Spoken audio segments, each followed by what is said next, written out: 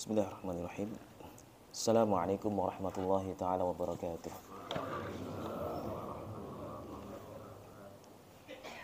Alhamdulillah. Alhamdulillah. Hamdan katsiran tayyiban mubarakan fih. Kama yuhibbu rabbuna wa yarda. ربنا لك الحمد كما ينبغي لجلال وجهك الكريم وعظيم سلطانك اللهم صل وسلم وبارك وأنعم على حبيبنا نبينا محمد وعلى آله وأصحابه ومن صار على نهجه واستنى بسنته إلى يوم الدين وسلم تسليما كثيرا. اللهم لا سهل إلا ما جعلته سهلا وأنت تجعل الحزن إذا شئت سهلا. اللهم لا علم لنا إلا ما علمتنا إنك أنت العليم الحكيم. اللهم ارزقنا الإخلاص في القول والعمل. اللهم ارزقنا الإخلاص في القول والعمل. اللهم ارزقنا الإخلاص في القول والعمل. إنك تعلم ما نخفي وما نعلن. وأنت على كل شيء شهيد. أما بعد.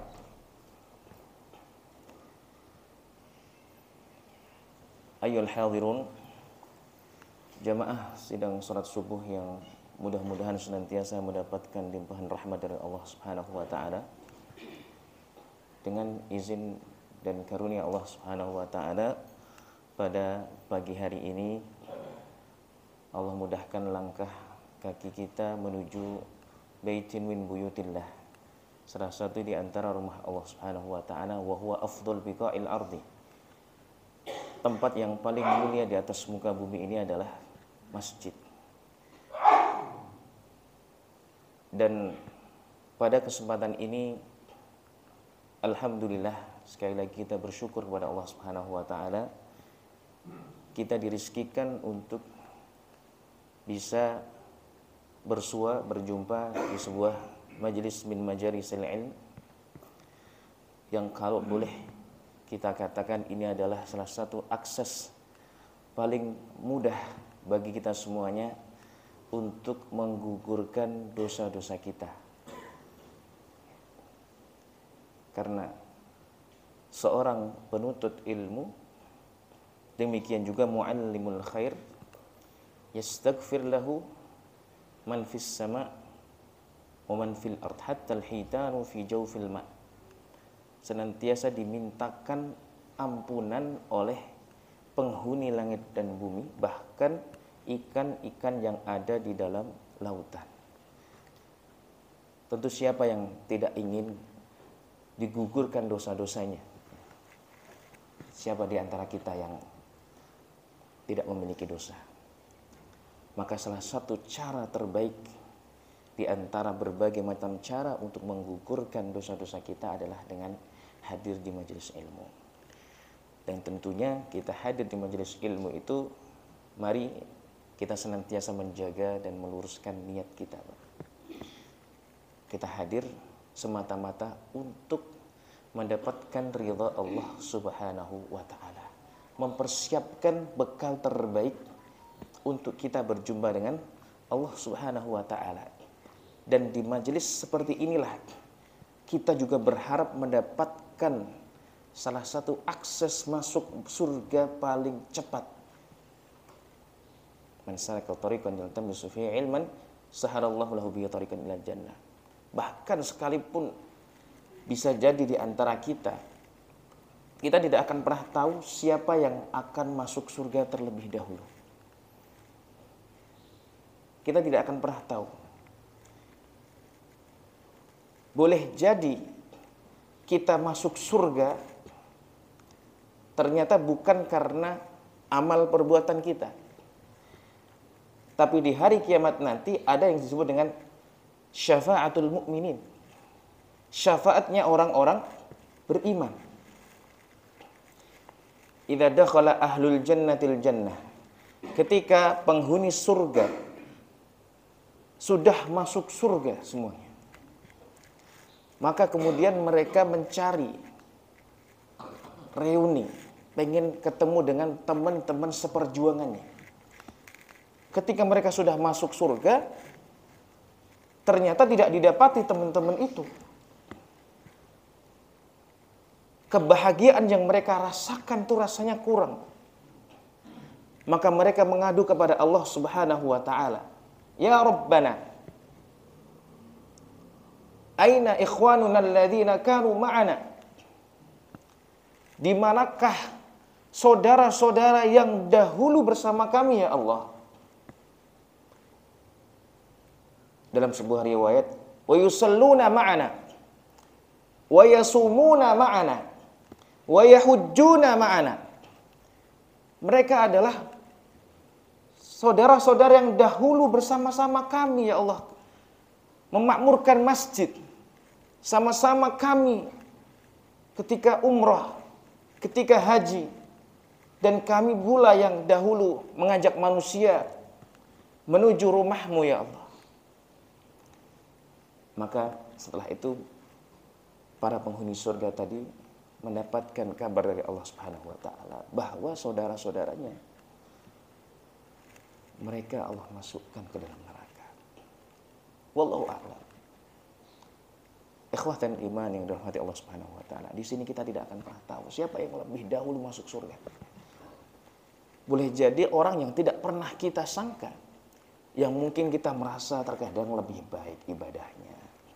Lebih semangat ketika menghadiri majelis ilmu kita mungkin merasa lebih lama ngajinya. Tapi mungkin ada hamba-hamba Allah Subhanahu wa taala yang Allah bersihkan hatinya, Allah luruskan niatnya dan ternyata dia lebih tinggi derajatnya sisi Allah Subhanahu wa taala. Dan siapa yang tahu? Siapa yang menjamin kemudian kita ya masuk surga lebih dahulu? Sementara siapa yang tahu dosa-dosa kita kecuali diri kita dengan Allah Subhanahu wa taala. Maka di sinilah ketika kita hadir di majelis ilmu, kita sedang memperbanyak kawan, memperbanyak saudara, memperbanyak komunitas yang nanti kita akan saling berjanji untuk memberikan syafaat di yaumil qiyamah. Bahkan inilah yang dipesankan oleh Ibnu Jauzi rahimahullah taala kepada para sahabatnya, pada para ulama. Kalau engkau sampai tidak dapati aku nanti di surga, maka berikan syafaat kepadaku. Subhanallah. Indahnya majelis ilmu, teman-teman sekalian. Para jamaah, bapak-bapak. Mari ya. Kita senantiasa meluruskan niat. Ya, menjaga, memurnikan semata-mata ini hanya untuk Allah. Sekaligus juga kita menjaga ukhuwah, persaudaraan. Memperbanyak kawan. Boleh jadi orang yang tidak pernah kita pandang. Tetangga kita yang mungkin masih jauh. Ya, pemahamannya terhadap agama ketimbang kita. Tapi dia dengan ilmu yang dia dapatkan orangnya mukhlis, ikhlas. Diberikan uzur oleh Allah Subhanahu wa taala atas keterbatasan ilmunya. Tapi mungkin sesekali kita pernah berbuat baik kepadanya dan dia ingat kebaikan kita bisa jadi itu menjadi salah satu sebab kita mendapatkan syafaat kaum mukminin di hari kiamat Maka jemaah yang dirahmati Allah Subhanahu wa taala pada kesempatan ini izin perkenalkan saya Ganang ya, saya teman dari Ustadz Fadil dan Ustadz di dengan kesempatan untuk menggantikan beliau yang mudah-mudahan pada pertemuan yang pertama ini Allah jadikan pertemuan yang penuh dengan keberkahan. Ikhwatal iman yang rahmati Allah Subhanahu wa taala. Karena seseorang itu ya, di dunia itu ada tiga corak ya. Ada orang yang berjumpa di dunia, ya, dipertemukan di dunia, tapi dia tidak akan pernah bersama di hari kiamat. Orang yang bertemu, berjumpa di dunia, tapi dia tidak akan pernah bersama di hari kiamat. Yang satu adalah orang beriman. Yang satu tidak beriman kepada Allah Subhanahu wa taala. Kedua orang ini menjalin persahabatan bukan atas dasar iman.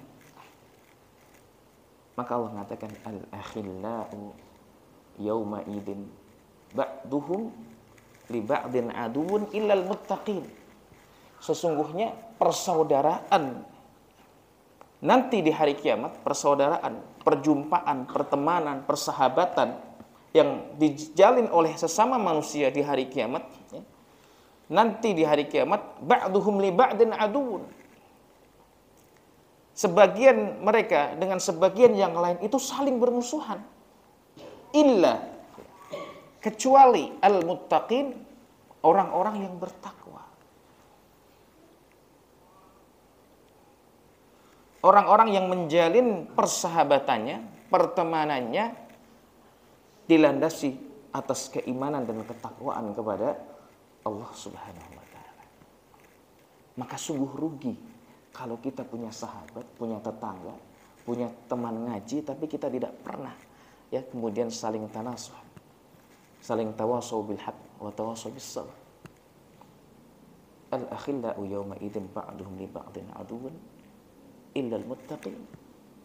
Maka kalau orang yang membangun persahabatan dan persaudaraannya atas dasar iman, mereka berjumpa di dunia dan insya Allah di akhirat juga akan dipertemukan kembali. Sungguh indah Pak. Bahkan ada yang lebih khusus lagi. Sudahlah kemudian dipertemukan kembali di hari kiamat. Tapi reuninya itu, nostalgianya itu lebih khusus lagi. Siapakah mereka? Disebutkan oleh Ibnu Qayyim dalam Hadil Arwah ila Biladil Afrah. Itu adalah ahli ilmu. Orang-orang ahli ilmu, para ulama itu adalah orang yang paling bahagia. Ya, nanti di hari kiamat. Mereka akan berjumpa kembali, ya, akan bernostalgia. Dan ketika mereka berjumpa, bernostalgia dengan sesama para ulama, mereka akan mengingat masa-masa perjuangan mereka di dunia.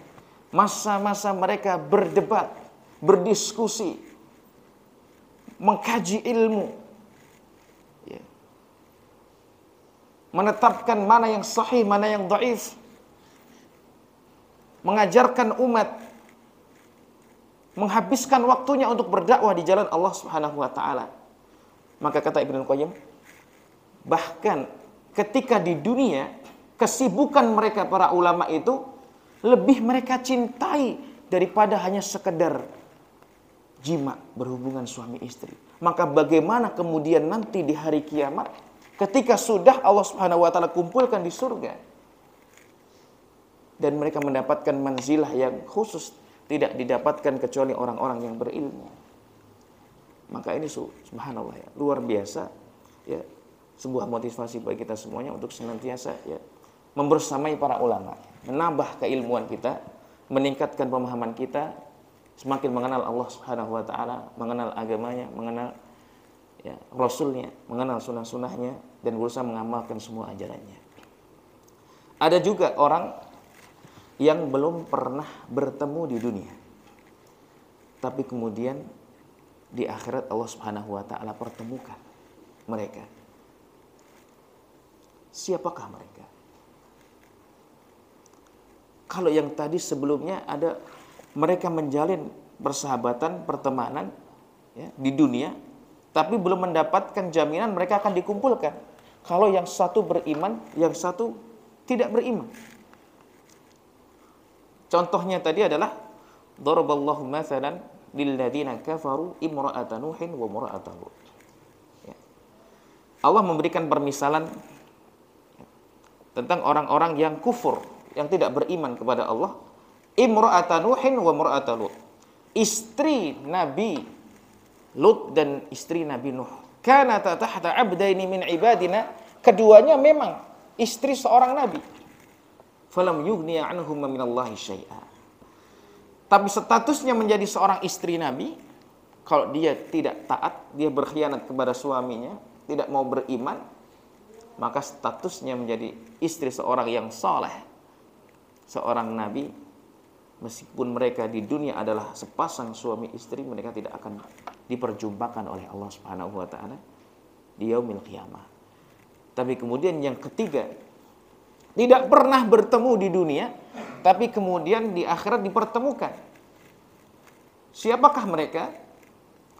Mayyuti'illaha war rasul faulaika ma'al ladzina an'ama Allahu 'alaihim minan nabiyyina was-siddiqina wasyuhada'i was-salihin wa hasuna ulaika rafiqa barang siapa yang taat kepada Allah dan Rasulnya faulaika maka orang-orang ini ma'alladzina an'amallahu alaihim mereka akan dibersamakan dengan orang-orang yang Allah berikan nikmat kepadanya minan nabiyyin dari kalangan para nabi wasyuhada wassalihin. Minan nabiyyin siddiqin ya orang-orang yang siddiq wasyuhada orang-orang yang mati syahid wassalihin. Dan orang-orang saleh. Coba bayangkan jemaah yang dirahmati Allah Subhanahu wa taala mungkin kita belum pernah di antara kita berjumpa dengan kakeknya dahulu atau mbah buyutnya yang mungkin mereka adalah orang-orang yang berjasa dalam ya dakwah misalnya sesama ya pejuang yang dulu ya mereka berkontribusi dalam mengajak manusia kembali kepada Allah Subhanahu wa taala. Kita perlu pernah ketemu dengan siapa? Imam Malik, Imam Syafi'i, Imam Ahmad bin Hanbal, Imam Abu Hanifah. Kita belum pernah ketemu dengan para sahabat, para tabi'in. Kita belum pernah ketemu dengan para para nabi, para syuhada Badar misalnya. Ya, para sahabat yang mulia. Tapi janji Allah Subhanahu wa taala, "May rasul." Barang siapa yang taat pada Allah dan Rasulnya, faulaika ma'alladzina. Maka mereka akan dibersamakan. Meskipun mereka di dunia belum pernah bertemu, tapi kita cinta, kita pengen dibersamakan dengan orang-orang saleh. Siapalah kita di antara orang-orang yang saleh? Orang-orang yang mereka ikhlas dalam beramal. Ya, orang-orang yang menghabiskan waktunya hanya untuk Allah Subhanahu wa taala. Para salafun saleh misalnya. Maka dengan kita meningkatkan ketakwaan kepada Allah Subhanahu wa taala, berusaha semakin tunduk patuh dengan tuntunan-tuntunan syariatnya, maka itu adalah salah satu akses paling mudah sehingga mudah-mudahan kita Allah berikan kesempatan untuk berjumpa dibersamakan dengan orang-orang yang mendapatkan derajat tinggi di sisi Allah Subhanahu wa taala. Maka sekali lagi hadirin jamaah sekalian rahmati Allah Subhanahu wa taala mudah-mudahan Allah jadikan pertemuan kita yang pertama ini pertemuan yang berbarokah dan mudah-mudahan kita juga kelak dikumpulkan bersama di tempat yang lebih baik di surganya Allah Subhanahu wa taala. Amin ya rabbal alamin. Baik, eh, sebagai mukaddimah pada kesempatan ini kita akan sedikit mendiskusikan sebuah tema ya, yang berjudul berilmu sebelum beramal, kewajiban atau kebutuhan. Berilmu sebelum beramal, kewajiban atau kebutuhan. Ikhwani fiddin azzani Allah wa iyyakum. Sebuah pertanyaan bagi kita semuanya. Kita sering mendengar para asatidah, ustaz-ustaz kita. Berilmu sebelum beramal. Kita tahu bahwa syarat diterimanya amal itu harus selain ikhlas adalah apa? Mutaba'ah. Iya, betul. Mutaba'ah mengikuti tuntunan syariat mengikuti tuntunan syariat ini konsekuensinya adalah kita harus memiliki ilmu. Yang jadi pertanyaan, berilmu sebelum beramal apakah sebuah kewajiban atau kebutuhan atau dua-duanya? Ya. Baik, kita jawab satu-satu. Kalau kewajiban, dari mana kita tahu bahwa berilmu itu sebuah kewajiban? Ada dalilnya. Dalilnya apa, Pak? Tolabul ilmi faridhatun ala kulli muslim. Tolabul ilmi, tolab itu meminta. Al-ilm, ilmu. Tolabul ilmi berarti meminta ilmu, mencari ilmu. Faridhatun. Fardu. Ala kulli muslim. Kepada setiap muslim. Nah, ini kita bisa menjawab bahwa di sini berilmu itu sebuah kewajiban sebelum yang lain. Kemudian kalau kita bertanya, berilmu itu sebelum beramal, apakah juga merupakan sebuah kebutuhan? Sebuah kebutuhan juga. Dari mana kita tahu kalau berilmu sebelum beramal itu sebuah kebutuhan? Bagaimana kira-kira jawabannya, Pak? Kalau kewajiban kita sudah tahu dalilnya hadis Rasulullah Sallallahu Alaihi Wasallam. Tolabul ilmi farilah. Kalau berilmu adalah sebuah kebutuhan, kebutuhan sebuah hajat yang terus menerus melekat pada diri kita, maka kita butuh sebuah argumentasi, sebuah alasan. Kenapa demikian? Jawabannya adalah perkataan Imam Ahmad rahimahullah taala, "An-nasu ilal ilmi ahwaju minhum ila ta'ami wasyarab لأن ar-rajula yahtaju ila ta'ami في fil مرة marratan aw marrataini wa hajatuhu بعدد ilmi ya. artinya Pak manusia itu lebih besar kebutuhannya terhadap ilmu daripada kebutuhannya terhadap makanan dan minuman. Kata Imam Ahmad, seseorang itu cukup makan minum sekali atau dua kali dalam sehari. Kira-kira kalau makan sekali dua, dua kali sehari itu sudah bisa untuk bertahan hidup tidak? Cukup, bisa ya. Bahkan bisa mungkin orang mengatakan penelitian orang nggak makan nggak minum selama 40 hari itu masih bertahan. Ada yang seperti itu. Sedangkan ilmu itu dia butuhkan dalam setiap hembusan nafasnya. Ini yang berkata siapa? Al-Imam Ahmad rahimahullah Bahwa seseorang butuh kepada ilmu itu sebanyak atau dalam setiap hembusan nafasnya. Berarti pernah nggak kita berhenti bernafas, Pak? Nggak bisa. Berarti kebutuhan pentingnya ilmu itu sama dengan pentingnya kita bernafas. Karena ilmu itu kan adalah sebuah petunjuk, dalil. Dalil itu kan adalah petun, petunjuk. Orang kalau tidak punya ilmu, tidak punya sandaran, tidak punya pedoman, jangankan bagaimana memikirkan kehidupan yang akan ada setelah kematian. Bahkan untuk urusan dunia pun dia akan berada dalam posisi yang bahaya kalau dia tidak tahu ilmu. Misalnya kita ada sebuah makanan, ya. makanan ini mengandung racun. Dari mana kita tidak mau memakan bahwa ini adalah makanan yang berbahaya? Setelah kita tahu ilmu bahwasanya makanan ini berbahaya. Kenapa kita tidak mau makan? Karena tahu bahwasanya makanan ini mengandung hal yang berbahaya. Racun. Itu kan sebuah il ilmu. Ini untuk urusan dunia. Agar bisa menyelamatkan orang dari hal-hal yang berbahaya. Dan dengan ilmu itu juga mendapatkan petunjuk untuk mendapatkan hal-hal yang diinginkan. Maka pentingnya ilmu itu ya, ya, tidak hanya dia merupakan sebuah kewajiban yang kalau kita kerjakan itu kewajiban, kita mendapatkan pahala, bernilai ibadah di sisi Allah, tapi sekaligus berilmu, menuntut ilmu itu adalah sebuah kebutuhan. Ya. Kebutuhan. Semakin kita tahu, semakin punya banyak wawasan, semakin luas pengetahuan kita, maka seseorang juga akan lebih nyaman dalam hidupnya. Ya.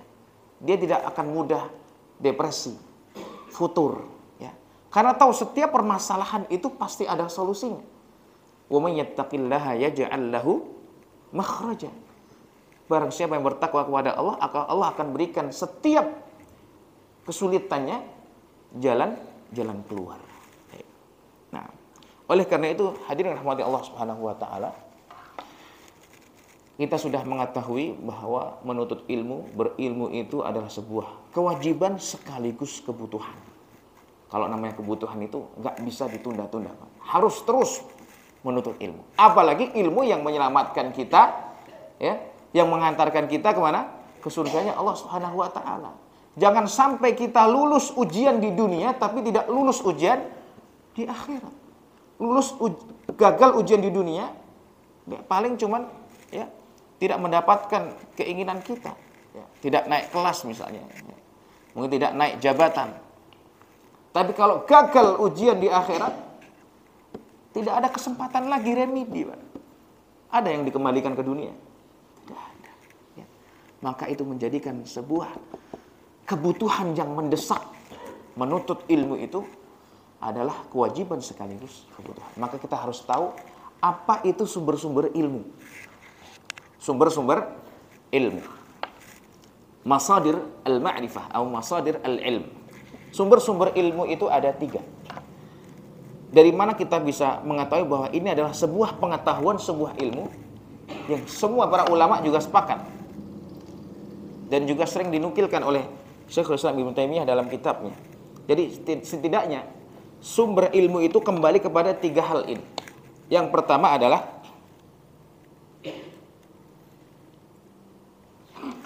al-khabar. Al-khabar itu apa? Kabar. Khabar itu kabar. Kabar itu informasi. Jadi kita mengetahui sebuah ilmu kita jadi tahu oh ini adalah sebuah pengetahuan itu yang pertama berasal dari kabar. Yang lebih spesifik di sini adalah al khabar as-sadiq. Ya, al khabar as-sadiq. Kabar yang jujur yang dibenarkan. Tentu maksudnya di sini adalah al wahyu. Apa? Al wahyu. Nah,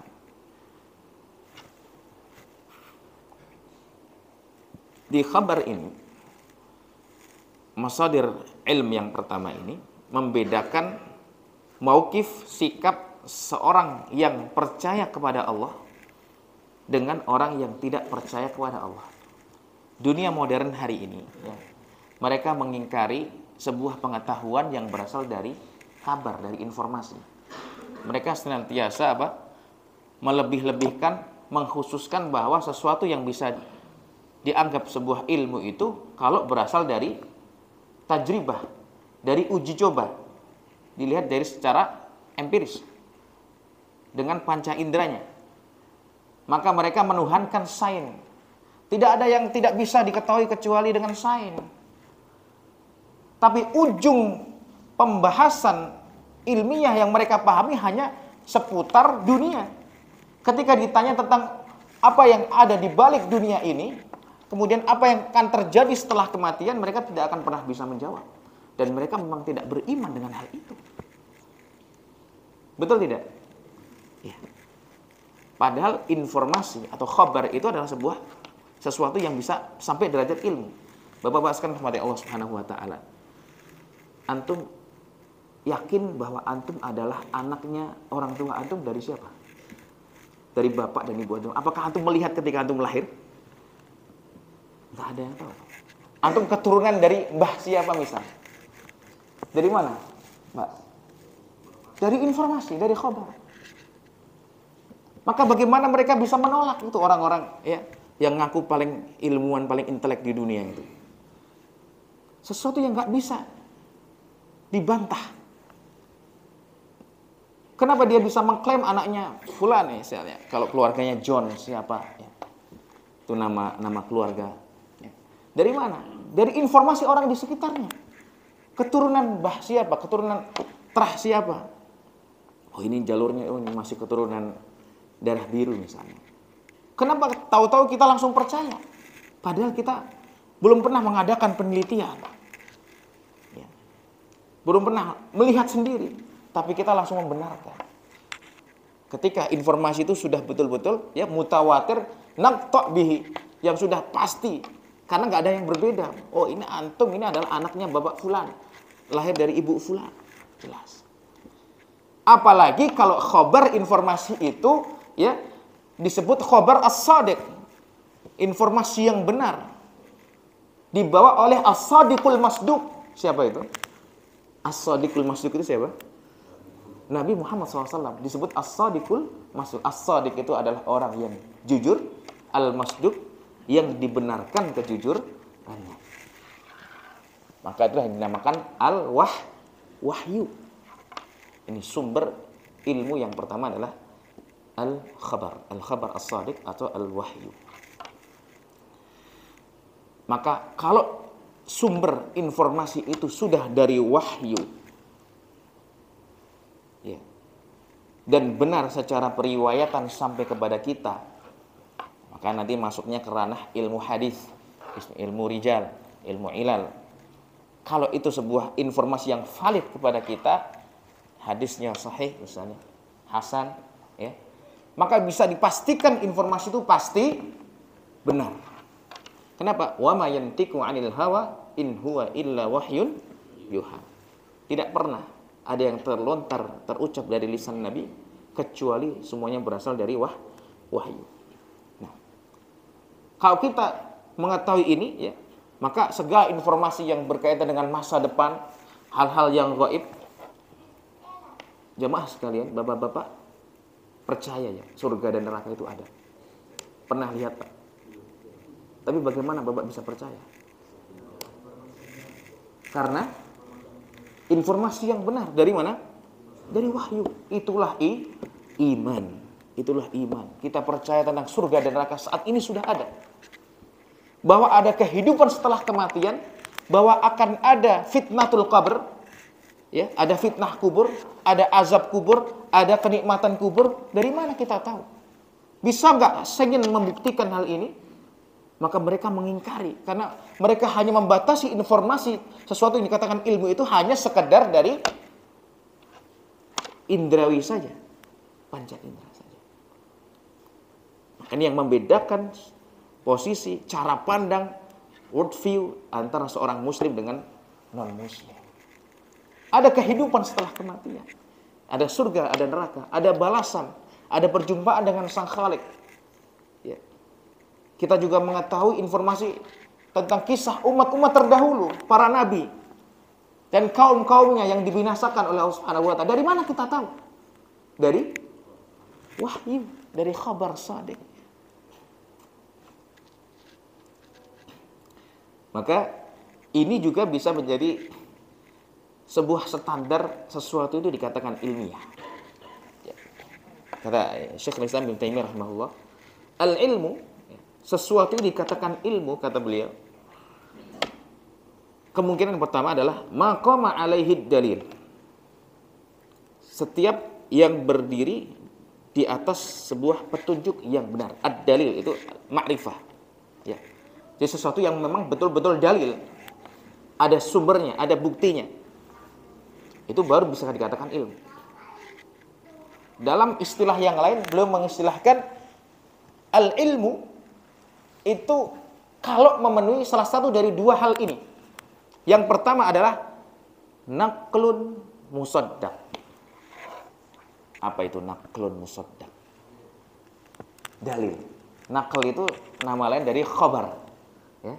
Musaddaq. Jadi tadi itu. Musaddaq itu kabar yang dibenarkan. Maksudnya ini adalah wahyu, teks-teks wahyu maka orang-orang berbicara menukil dari teks wahyu, maka itu bisa dikatakan il ilmiah. Kenapa? Karena dikatakan kalau Allah wa qala ar-rasul. Sudah kalau yang informasi itu dari Allah dari Rasul, ya. Kalau dari Allah jelas mutawatir Al-Qur'an. Dari Rasul ketika kita bisa meyakini validitasnya jelas sahih, maka kita bisa katakan itu adalah sesuatu yang ilmiah. Yang kedua, Kemudian yang kedua, dikatakan sesuatu itu ilmiah, ilmu adalah bahsun muhakkok. Ini untuk mengukur nih, mengukur. Kita harus punya neraca ya, pertimbangan untuk mengukur kapan sesuatu itu bisa dikatakan ilmiah, kapan ini nggak ilmiah. Jadi melatih uh, critical thinking ya, kritis terhadap sebuah informasi. Yang kedua adalah bahsun muhakkok. Apa itu? Bahs bahs research. Ya. Bahas itu adalah penelitian. Jadi atau hasil penelitian. Muhakkak dari kata tahqiq. Haqqaqa yuhaqqiqu tahqiq muhaqqaq. Muhaqqaq itu artinya sudah teruji. Penelitian yang sudah melewati proses pengujian terhadap penelitian itu.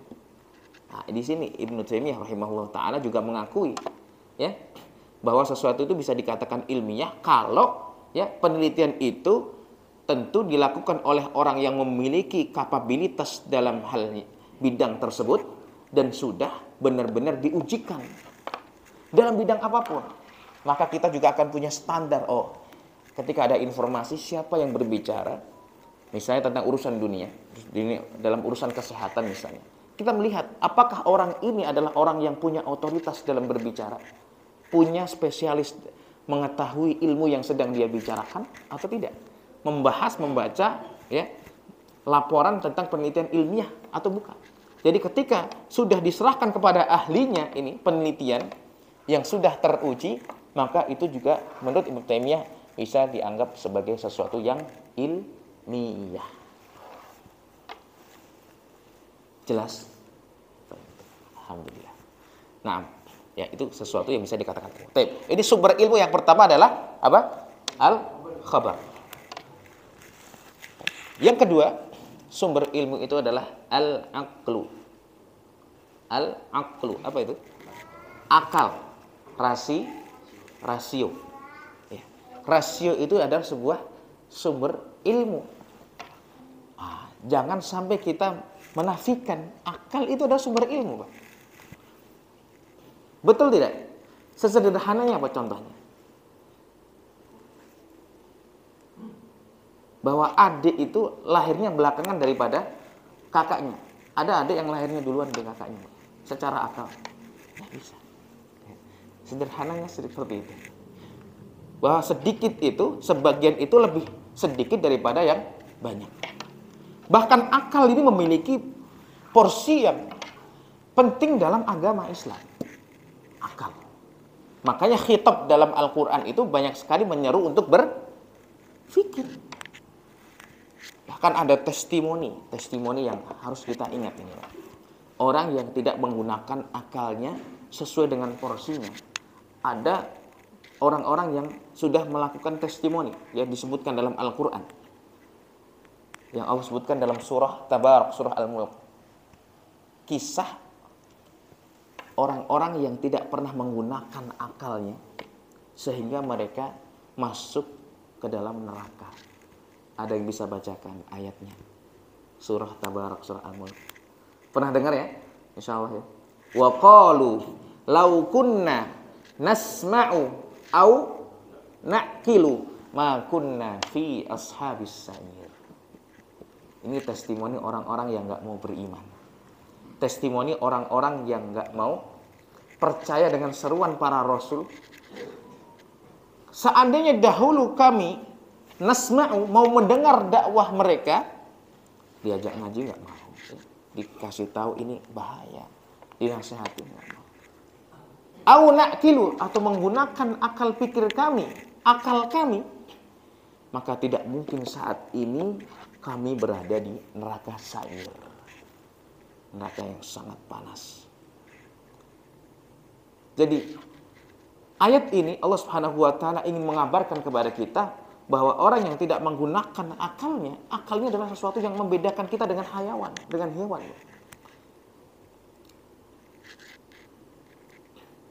Maka akal yang sehat tidak akan pernah bertentangan dengan ya, dalil.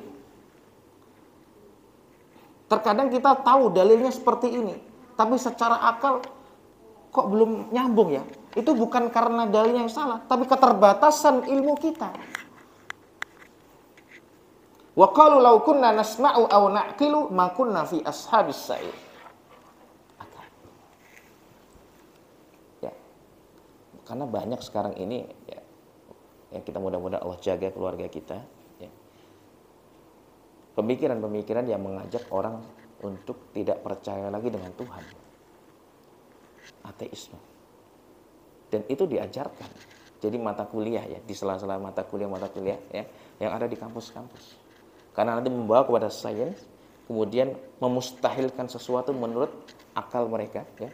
Padahal sebaliknya, justru kita bisa beriman ya seseorang itu bisa menemukan semakin yakin keimanannya ketika dia menundaya gunakan akalnya dengan dengan benar sesuai dengan fitrahnya. Saya berikan contoh ya dahulu pernah dengar cerita ya Ibnu uh, Abu Hanifah berdebat dengan orang-orang ateis pada zamannya. Ya, pernah berdebat dengan orang-orang ateis pada zamannya. Sudah dari sejak zaman dahulu sudah ada orang-orang yang nggak percaya Tuhan, yang nggak percaya Allah. Maka kemudian ternyata beliau itu terlambat untuk datang ya di sebuah forum yang mereka sepakati dengan orang-orang ateis nanti akan adu argumen di sini. Maka ketika beliau datang ditanya sama orang-orang ateis, kenapa ente terlambat? Oh iya, saya udah menunggu datangnya kapal, ya, tapi nggak datang-datang. Tahu-tahu, ah akhirnya saya dapat solusi. Tahu-tahu ada apa namanya pohon, pohon itu tahu-tahu terbelah, kemudian terpisah-pisah dan jadilah kapal. Kemudian saya akhirnya bisa naik kapal, kemudian nyebrang lautan itu dan sampailah di sini. Sekarang saya sudah sudah hadir. Gak mungkin kata orang-orang ateis. Gak mungkin bisa seperti itu. Gak mungkin ada pohon tahu-tahu bisa tumbang sendiri, terbelah sendiri, terpotong sendiri, kemudian jadi kapal, kemudian kapalnya jalan sendiri. Kecuali pasti ada yang membuat kapalnya pasti ada yang mengendalikan kapalnya. Maka langsung dibantah seperti itu juga. Nah, kalau ente saja tidak percaya ada kapal bisa jalan sendiri, nyebrang dari pulau satu ke pulau yang lain, menaikkan barang-barang, menurunkan barang-barang yang sendiri, kemudian bisa jadi kapal dengan sendirinya. Lalu bagaimana dengan alam semesta yang begitu indah dan megah ini? Yang sederhana saja ente memustahilkan pasti ada aktor di belakang itu, sang khalik yang menciptakan, yang membuat kapal itu. Bagaimana kalian tidak percaya dengan pencipta alam semesta ini? Bagaimana kemudian bumi, bintang ya tidak saling bertabrak-tabrakan? Bagaimana kemudian air tidak ngambang ke atas, tapi sesuai pada gravitasinya? Sesuatu yang sangat sederhana. Bagaimana dengan alam semesta yang begitu indah ini? Bagaimana penciptaan manusia? Bagaimana penciptaan hewan? Ya, kenapa kita diberikan dua tangan, dua kaki, dua pendengaran, dan semua keindahan-keindahan dunia ini? Maka tidak lain pasti di balik itu ada yang mendesain siapa? Allah Subhanahu wa taala dan sang Maka nggak jadi debat. Hibar. Kenapa? Saat itu juga argumentasi mereka sudah sudah batal. Itu dengan A. Seorang badui pun juga mengetahui, Pak. Ya, orang yang luar biasa pada saat itu ya, dengan akal sehatnya, ya. Al-ba'ratu tadullu 'alal ba'ir. Kalau kita melihat ya, suatu tempat, gitu, kok di situ ada kita lihat tai, tai sapi, mohon maaf ya. Kita pasti dengan akal kita memastikan di situ tadi ada sapi. Al-ba'ratu tadullu 'alal ba'ir. Lihat kotoran kambing, ah dengan akal kita meyakinkan bahwa di situ pasti ada kambing. Wal atharu dulu alal masir. Jejak ya, tapakan kaki itu menunjukkan bahwa ada orang yang lewat di situ. Itu adalah informasi yang kita dapatkan dari akal. Misalnya kita melihat ada asap waliyadzubillah misalnya. Ya, membumbung dari sebuah bangunan. Kita bisa memastikan bahwa di situ pasti ada apa? Api, ada kebakaran. Jelas sampai di sini. informasi yang kedua berasal dari akal. Sesuatu yang bisa dicerna rasio. Itu juga salah satu sumber ilmu.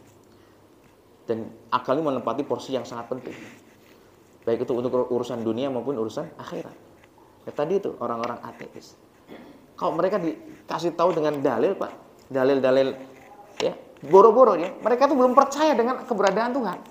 Jadi berbicara dengan mereka itu bukan lagi kalau Rasul seperti ini bukan.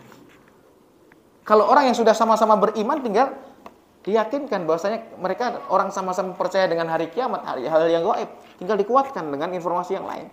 Tapi orang-orang seperti ini membutuhkan ilmu yang lebih. Ya. Bagaimana ya ketika orang menggunakan akal sehatnya sesuai dengan fitrahnya tidak akan bertentangan dengan dengan nas dengan dalil. Nah, informasi yang ketiga ya sumber informasi itu yang ketiga adalah al hissu. Apa itu al his al his itu apa ahwas jamaahnya? Panca indera. Ya, di sini kita juga percaya bahwa di antara sumber informasi adalah panca indera. Rasa, penciuman, ya, penglihatan. Apakah kita sepakat bahwa garam itu asin, Pak? Sepakat nggak? Ada yang nggak sepakat bahwa garam itu asin. Mungkin ada yang berbeda. Oh, saya, saat garam itu manis. Ini kayaknya perlu di gimana Pak? Ya. Kita sepakat bahwa gula itu manis. Dari mana kita tahu? Dari indera indera perasa kita. Kita bisa membedakan mana yang cantik, mana yang agak-agak cantik. Cantiknya, kalau kata Ustaz Miranda itu ada yang cantiknya itu ijma, ada yang cantiknya itu ikhtilaf. kalau ikhtilaf maka dirojihkan sendiri katanya. Biar jadi ijma. Bisa membedakan mana yang bangunan yang bagus, mana yang enggak bagus. Dari mana? Dari indera penglihatan kita. Maka ini ya al-his atau al-ahwas ini adalah salah satu sumber informasi atau sumber ilmu pengetahuan dan di sini kita juga sepakat. Maka penelitian-penelitian itu semuanya berasal dari ya mendaya gunakan sesuatu yang bisa diindrai. Ya. Makanya ada tajribah, ada research, ada penelitian. Ya. Dan untuk hal-hal seperti ini kita percaya karena penelitian-penelitian yang dilakukan oleh orang yang kompeten, yang punya otoritas di bidangnya. Maka kalau kita mau memahami, mentadaburi firman Allah Subhanahu wa taala, "Fas'alu ahla dzikri in kuntum la ta'lamun." Itu artinya menyerahkan ya sebuah informasi sumber kepercayaan informasi itu kepada orang yang memang punya otoritas di bidang itu. Jamaah sekalian, percaya kalau virus corona itu ada. Percaya, Pak? Saya dengar berbeda-beda pendapat. Percaya tidak? Corona itu ada tidak? Gimana Pak? Kita diskusi ya. Diskusi. Percaya. Kenapa percaya? Terkena. Oh iya ini terkena. Yakin kalau itu yang mengenai adalah corona, Pak? nah, ya. Di sini kita tidak akan bisa memastikan kecuali kita merujuk kepada orang yang punya otoritas di bidang itu berbicara tentang corona. Siapa mereka? Ahli kesehatan. Yang khusus tidak semua ahli kesehatan. Betul. Karena tidak semuanya mendalami ya, menguasai disiplin ilmu yang khusus ini. Yang ternyata kalau dimasukkan ke dalam lab menurut ya informasi yang yang jurnal-jurnal ilmiah itu memang sesuatu yang bisa dilihat di indera meskipun itu dengan mikroskop. Tapi sesuatu yang bisa dibuktikan keberadaannya. Betul. Jadi indrawi itu ya bisa dirasakan, baik itu dilihat, dicium baunya, ya, kemudian didengar, ya, dirasakan keberadaannya, sesuatu yang bisa diindrawi. Angin itu ada nggak pak? Ada ya, bisa kita lihat. Enggak, tapi bisa kita rasakan. Itu bisa diindrawi. Maka al-his atau ahwas ini, ya, panca indera ini, ya, inilah yang digunakan ya orang-orang sains. Ya ya. Sesuatu yang bisa diindra itu sesuatu yang bisa dibuktikan secara empirik. Ya. maka kalau seorang muslim itu pak lengkap pendekatannya untuk melihat sebuah perkara itu dari tiga hal ini. Dilihat dari informasi ya, dari tajribah dari research dari ilmu pengetahuan sains bisa dibuktikan? Kita pakai. Secara akal rasional bisa. Yang ketiga di, dikombinasikan dengan wahyu. Contohnya seperti ini yang masih dekat aja, yang masih anget-anget tentang virus corona. Tentang virus corona. Ya. Jadi itulah tadi sumber ilmu menurut para ulama ya. Apa lagi pertama? Khabar, akal, al-his, panca, panca indera. Ketika Anda adalah seorang dokter, ya, seorang dokter sekaligus seorang muslim, ditanya bagaimana cara mencegah biar tidak terkena corona atau mengantisipasi virus corona. Kalau Anda menjawab, Bapak harus menjaga protokol kesehatan, kemudian makan makanan sehat, ya, yang bergizi, kemudian berjemur, ya, maka itu yang insya Allah sudah cukup untuk Bapak ya, biar ter tidak terkena virus corona. Jadi menjaga protokol kesehatan, pakai masker, berjemur, istirahat yang cukup, maka saat itu Anda menjadi orang sekuler, Pak. Ya. Kalau Anda dokter kemudian hanya menyarankan itu saja, bahwa tadi saran-saran itu sudah bisa menyembuhkan, bisa menghindarkan dari corona, Anda masih sekuler. Kenapa, Pak? Hah? Kenapa? Karena hanya melihat dari sisi indrawi saja. Padahal corona ini adalah musibah, betul? Wabah. Siapa yang menjadikan dia ada di bumi ini? Siapa? Allah Subhanahu wa taala. Betulkah kalau kita hanya sekedar menjaga protokol kesehatan, kemudian tidak percaya bahwa corona itu datang dari Allah, kemudian Allah ya angkat virus corona, Allah kabulkan doa-doa? Tidak dokter yang muslim yang bukan sekuler itu betul tadi disampaikan secara medis seperti ini. Tapi kita juga mengingatkan Pak, Bapak tahu bahwa corona ini adalah musibah. Musibah yang datang dari Allah Subhanahu wa taala dan Allah berfirman, "Qul yusibana illa ma kataballahu lana." Tidak ada musibah yang jatuh yang menimpa bumi ini kecuali illa ya kecuali Allah Subhanahu wa taala memang menghendaki. Jadi yang bisa mengangkat wabah ini juga Allah Subhanahu wa taala. Maka Bapak juga harus banyak istighfar. Banyak taubat. Tambah rajin sholatnya. Itu baru muslim. Kalau yang pertama tadi cuma menjadikan standar ilmunya itu bimbingannya hanya kepada saintis saja, sesuatu yang tajribah saja, empirik saja tapi tidak menggunakan pendekatan wahyu. Kita melihat setiap ada fenomena itu, apa sih petunjuk dari Al-Quran? Apa sih petunjuk dari sunnah-sunnah Rasulullah SAW? Seorang dokter yang muslim, dia menyarankan untuk menjaga protokol kesehatan, tapi dia juga berpesan ya untuk banyak-banyak bertaubat kepada Allah.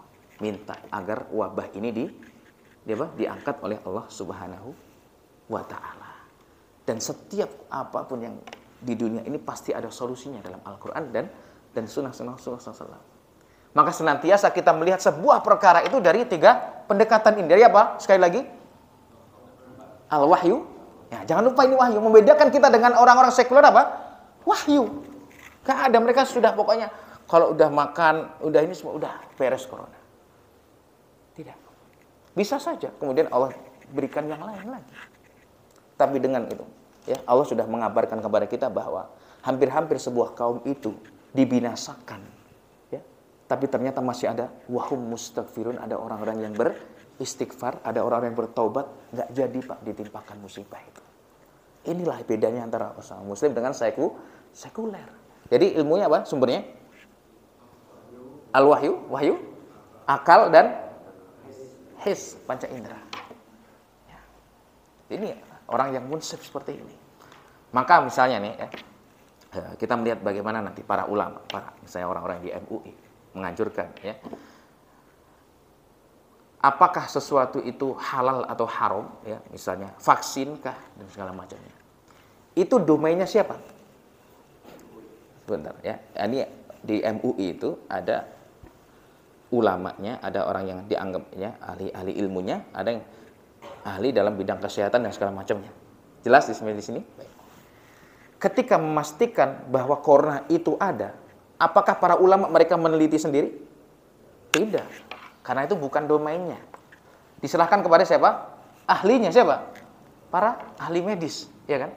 Kemudian memastikan oh ini mengandung zat yang haram atau tidak? Zat babi dan segala macam. Apakah para ulama bisa meneliti sendiri? Tidak. Para ulama itu hanya ya fungsi mereka, domainnya ketika sudah dipastikan ini mengandung zat yang haram, ini berbahaya kata medis, baru secara hukum boleh dikonsumsi atau tidak, halal atau tidak. Itu baru domainnya para ulama. Sekarang ini karena ya kadang itu ya, walau alam karena mungkin keterbatasan ilmu atau bagaimana, kadang campur campur aduk. Ya. Orang yang bukan pada kompetensinya dia berbicara, ya, bukan pada bidangnya. Ada mungkin dokter yang berbicara offset, ya. berbicara masalah agama yang memang dia tidak terlalu menguasai, setengah-setengah paham. Atau kebalikannya, yang dia anggap ustadz, kiai, tapi berbicara lebih, padahal bukan pada pada bidangnya. Ya. Maka kita harus mengukur kemampuan kita. Ya. Maka kita harus di sini kita nanti akan semakin tumbuh critical thinking ya, cara kritis untuk uh, menilai sebuah informasi sehingga kita yakin itu ada informasi yang benar. Setelah itu kita melihat apa yang sebenarnya terjadi. Yang kedua, yang kedua adalah bagaimana sikap kita, apa yang harus kita kerjakan. Demikian ya, jelas ya insya Allah ya. Baik, sampai jam berapa kira-kira? Sampai suruh. Berapa lama lagi nih? Ini baru poin yang kedua. Tapi nggak apa-apa ini sambil diskusi ya Pak ya. Insya Allah. ya, jadi ini sumber ilmu. Jadi udah setelah ini insya Allah ya tidak ada keraguan-raguan lagi. Jadi setiap ada informasi apa pun, nah ingat standarnya adalah wahyu, akal, dan panca indera ini, sains ini penelitian ilmiah ya. Karena itu nanti ya, mereka sudah ada penelitian juga, misalnya dalam ilmu kedokteran, eh, yang pertanian mereka juga punya standar sendiri, kehutanan mereka punya standar sendiri, tentang gizi mereka punya standar sendiri. Kalau yang sudah berbicara adalah orang yang punya otoritas dan sudah secara ilmiah dibuktikan, artinya penelitiannya itu sudah mungkin gampangnya sekarang sudah dipublish gitu ya. Jadi memang sudah diuji orang-orang yang memang punya kompetensi di bidang itu. Maka kita sebatas informasi itu kita bisa percaya, ya itulah ilmu untuk paham dengan satu perkara itu. Nah, maka kita kemudian tidak bingung lagi nanti ada wah ini corona, ada yang bilang iya, ada enggak, ada ini. Bingung. Merujuknya ke siapa? Pokoknya pokoknya nyamannya gitu ya. Gitu. Tapi nggak tahu standarnya ini, ini bener nggak ya kalau denger dari sini? Oh, mungkin kita bisa memberikan uzur. Oh, ini mungkin ada mungkin di antara ustadz kita mungkin misalnya. Ya kita berikan uzur karena memang beliau bukan ya orang yang mungkin kompeten di bidang itu. Tapi tidak kemudian menjadikan kita tidak hormat kepada orang yang berbeda dengan kita, tidak. Ya. Tapi kita harus mengembalikan ya tadi itu segala sesuatu kepada ahlinya. Ya. Fas'alu ahli dzikri in kuntum la ta'lamun. Ya. Itu juga sebuah uh, warning buat para asatid ya, para ahli ilmu juga agar tidak berbicara di bidang yang bukan kompetensinya. Ya. Taib. Masih berapa lama lagi? Berapa Pak? Saya khawatir nanti kalau mungkin yang ada keperluan ya pengen ke mana gitu ya weekend nanti kepanjangan kalau tidak diberikan ya. Tapi masih lanjut? Lanjut lagi ya. Nah, dari ilmu sudah. Tadi berilmu itu apa tadi? Sebuah kewajiban sekaligus kebutuhan. Sumber ilmu sudah ada tiga. Yang berikutnya adalah pembagian ilmu. Nah, ini penting. Orang kalau nggak tahu mana yang harus didahulukan, nah ini ribut terus di mana-mana. Debat, ribut. Menghabiskan tenaga, menghabiskan waktu. Kadang-kadang ada hal-hal yang lebih penting untuk kita perhatikan ketimbang menghabis-habiskan waktu itu. Kenapa? Karena berdebat pada hal-hal yang tidak esensial. Pembagian ilmu itu penting. Di antara yang eh, pembagian itu dilihat dari segi uh, sejauh mana tingkat kewajiban maka ilmu itu ya bisa kita bagi sesuai dengan tingkat kewajiban menjadi ilmu yang fardu ain, ada ilmu yang fardu kifayah. Fardu ain, fardu kifayah. Fardu itu wajib, ain itu terkait dengan personalnya, individunya. Berarti kewajiban yang dibebankan kepada setiap individu, tidak bisa diwakilkan. Ini namanya fardu ain. Jelas sampai di sini? Kalau fardu kifayah itu, fardu kewajiban kifayah itu, kalau sudah ada yang mengerjakan cukup dengan kadar cukup, kifayah itu cukup, maka gugur kewajiban bagi yang yang lain. Dipahami dulu? Jelas. Baru kira-kira apa yang masuk ke kategori ilmu-ilmu yang fardu ain, mana yang fardu kifayah. Nah, ini panjang. Ini kalau mengupas ini satu tema sendiri sebenarnya ya. Tapi sedikit kita singgung ya, mudah-mudahan nanti sempurnakan oleh para satilah yang lain. Bismillah.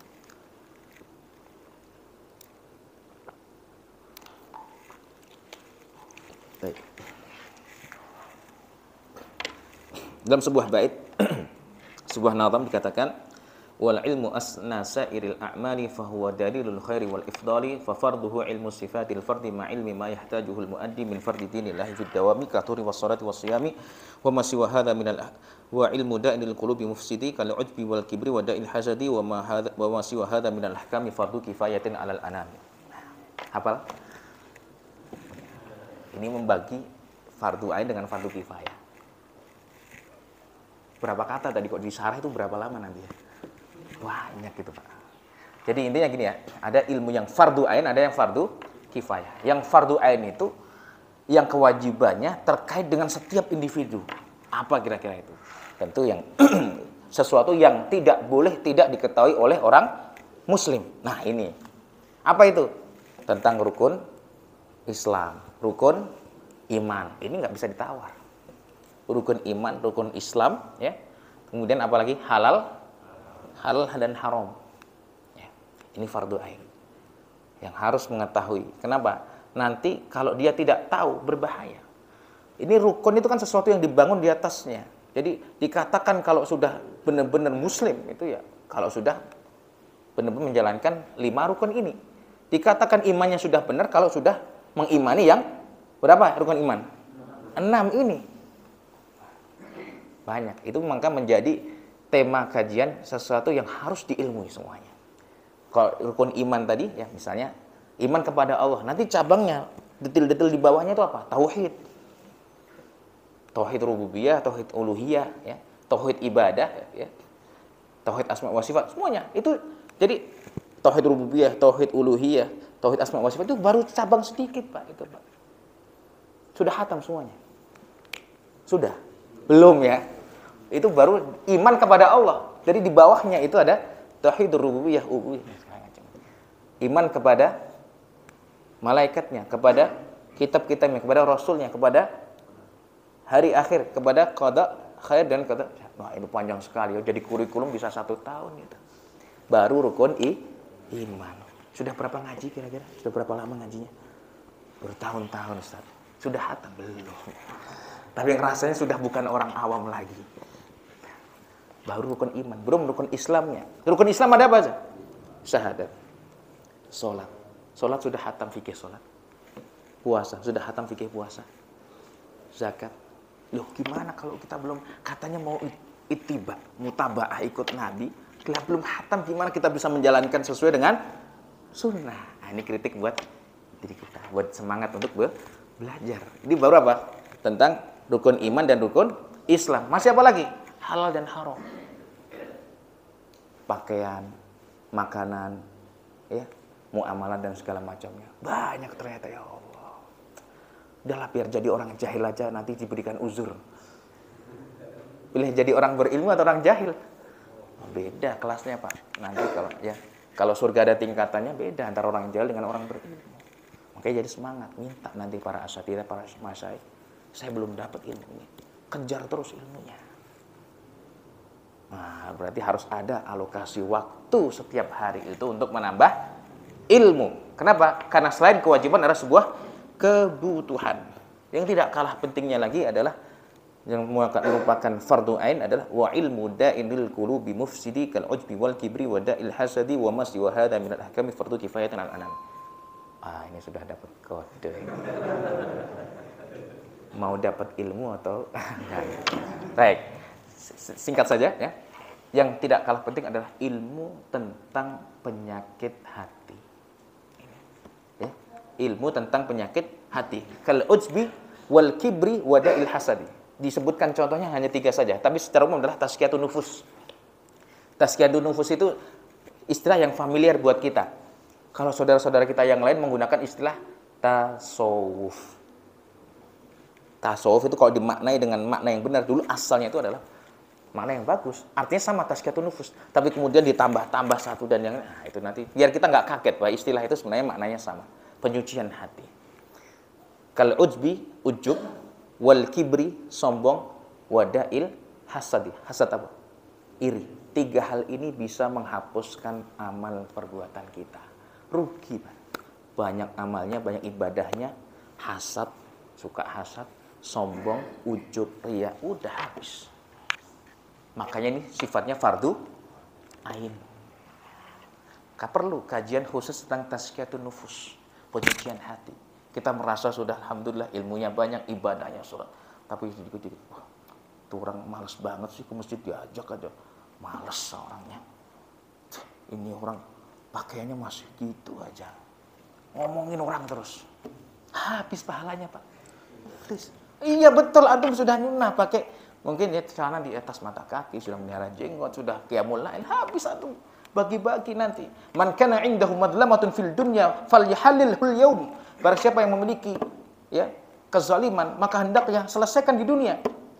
Kalau tidak nanti yuhammil sayyiatihi, kalau dia tidak punya kebaikan maka dosa dari orang yang dia gibai, dia zalim itu ditimpakan kepada orang yang menzalimi tadi. Rugi antum mengumpulkan segunung itu amalnya antum berikan kepada nah, kalau antum di ya dicela, digibain malah beruntung transfer pahala gratis. Makanya nggak usah terlalu kita sibuk dengan orang orang lain. Sibuk fokus diri, perbaiki hati tadi, ilmu-ilmu yang.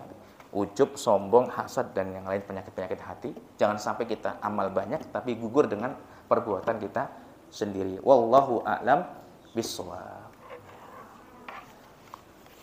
Ada sesi pertanyaan atau cukup? Ah, monggo ini terserah. Kalau sudah kita akhiri ya. Karena mungkin ada dari sibukan mungkin nanti ada kapan lagi ya mungkin atau dengan para aset itu yang lain. Saya kira cukup ya. Kalau cukup ya kita uh, tutup majelis kita dengan doa kafaratul majelis subhanakallahumma bihamdika asyhadu an la ilaha illa anta astaghfiruka wa atubu ilaik. Wa sallallahu ala nabiyyina muhammadin wa ala alihi wa ashabihi ajma'in. Walhamdulillahi rabbil alamin. Assalamualaikum warahmatullahi taala wabarakatuh